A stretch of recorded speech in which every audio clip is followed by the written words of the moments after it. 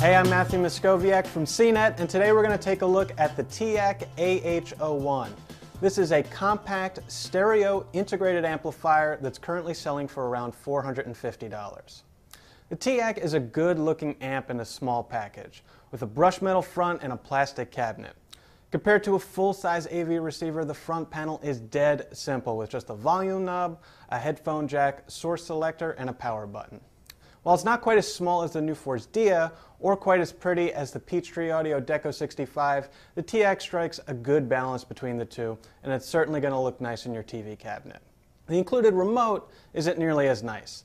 It has the annoying bubble-like buttons that are usually found on cheaper devices, and they just don't respond consistently to button presses, so you're left hitting some buttons over and over again.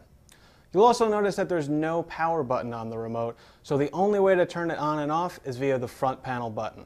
That means if you're using it in your living room with the universal remote, you'll probably want to leave the TEAC powered on, which isn't ideal. There are four inputs on the back.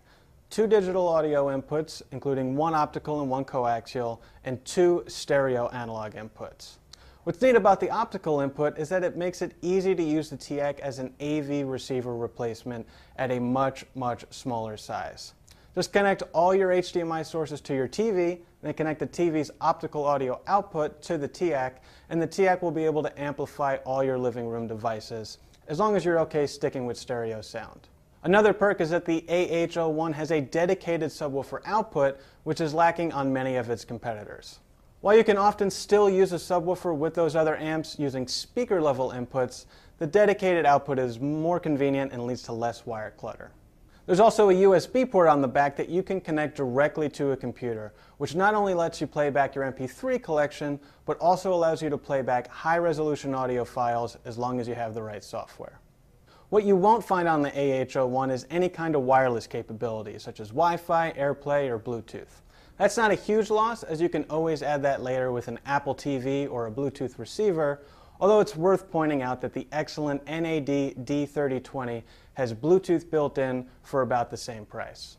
With a compact amp like this, a lot of people might be skeptical about how it sounds, but we found it to have excellent sound quality. Resident audiophile Steve Guttenberg gave it a listen with a wide range of speakers, from Pioneer's budget SPFS 52 tower speakers to PSB's Image T6s, and the TEAC sounded excellent no matter what we matched it up with. There's also no reason to worry about power with the little amp, as the AH01 got plenty loud in our medium-sized room with all the speakers we tested. Steve even compared the TEAC paired up with Pioneer's tower speakers to the similarly priced Harman Kardon soundbar, and as you'd expect, the separate speakers sounded much better, especially with music.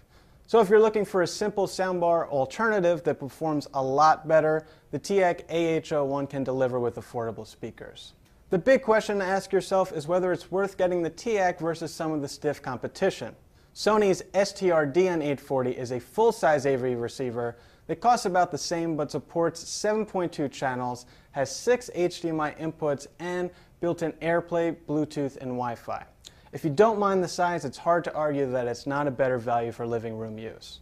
If you want to stick with the smaller integrated amp, NAD's D3020 is a little more expensive, but I'd say it's worth the extra cost with a nicer remote, sleeker design, and built-in Bluetooth.